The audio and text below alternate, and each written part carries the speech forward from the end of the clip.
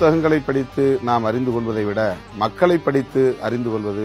ஏராளம் திருமண வாழ்க்கை வேண்டாம் என்று நான் உறுதியாக முடிவெடுத்ததற்கு விடுதலை புலிகளின் போராட்ட அனுபவங்கள் ஒரு முக்கியமான காரணம் தேர்தல் அரசியல் என்ற முடிவு மிக சரியானது அப்படின்னு இப்ப நம்புறீங்களா ஆயுதம் தாங்கிய புரட்சிகர வழி அல்லது நாடாளுமன்ற ஜனநாயக பாதை இன்றைக்கு இந்திய மண்ணை பொறுத்தவரையில் ஒடுக்கப்பட்ட மக்களை பொறுத்தவரையில் நாடாளுமன்ற ஜனநாயக பாதையில் போய்தான் அதிகாரத்தை பகிர்ந்து கொள்ள முடியும் ஒரு குறிப்பிட்ட ஜாதி கட்சி என்கின்ற அடையாளத்தோடு மட்டுமே பார்க்கப்படுகின்ற சூழலை நீங்க எப்படி எதிர்கொள்றீங்க காலம் ஒரு பொதுவான அடையாளத்தை எனக்கு தரும் அந்த நம்பிக்கை எனக்கு இருக்கிறது